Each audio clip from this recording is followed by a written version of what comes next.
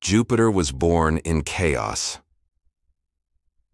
About 4.6 billion years ago, the solar system was nothing but a swirling cloud of dust, gas, and ice spinning around a newborn sun.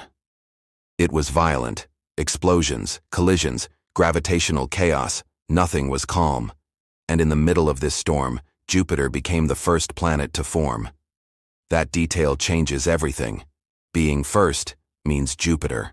Formed from the richest, most pristine materials in the solar nebula, hydrogen and helium, that allowed it to grow fast, unbelievably fast. Within just a few million years, Jupiter had already become a cosmic giant. Its gravity was insane. It pulled in everything, rocks, gas, comets, debris. Sometimes it consumed them. Other times, it threw them out of the solar system entirely. Some scientists believe that without Jupiter, rocky planets like Earth may never have formed.